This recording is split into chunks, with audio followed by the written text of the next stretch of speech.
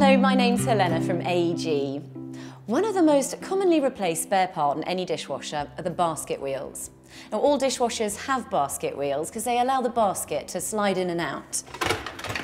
However, with constant use, they can become dislodged or damaged, but luckily they are really easy to replace. Basket wheels come in lots of different shapes and sizes for all the different models of AEG dishwasher available. So the first thing that you'll need to do is ensure that you have the right wheel for your model. And in order to do that, all you need to know is your dishwasher's product number. Your product number can be found on your rating plate, and on a dishwasher, the rating plate can be found on the outside of the door. The product number is always between 9 and 11 digits long and is different from your model number. There are two main types of basket wheels, ones that attach to the basket itself and then others that attach to the inside of the dishwasher.